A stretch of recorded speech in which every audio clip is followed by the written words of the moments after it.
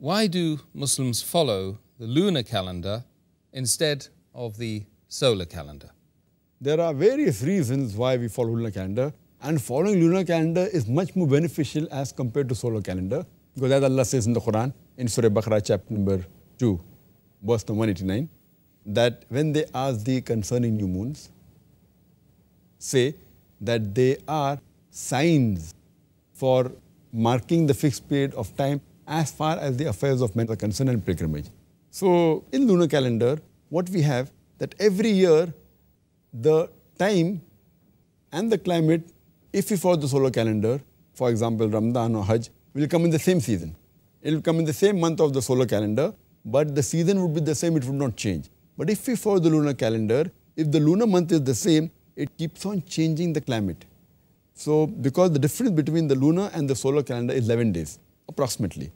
The lunar calendar is 11 days less than the solar calendar. So if we follow the solar calendar, if suppose Ramadan comes in a country in winter, throughout his life, Ramadan will come in winter.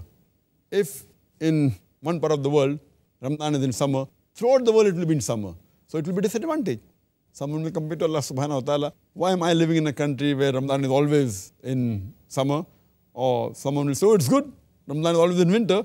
Some people will fast the full Ramadan, the full life, always having long days. Some people have short days. So when we follow the lunar calendar, in approximately 33 years of your life, we have Ramadan coming in all the seasons of the year. Sometimes it will be in summer, sometimes in winter, sometimes in autumn, sometimes the days will be short, sometimes the days will be long, or it will be average throughout your life. So this is, alhamdulillah, scientific. So to follow the lunar calendar is beneficial. We have Hajj in all the seasons, we have Ramadan in all the seasons, we have Eid in all the seasons. So no one can complain to Allah subhanahu wa ta'ala. And they have taste of all the seasons to follow Ramadan and to keep the fast and as well as to celebrate Eid. So it's more scientific to follow the lunar calendar as compared to following the solar calendar.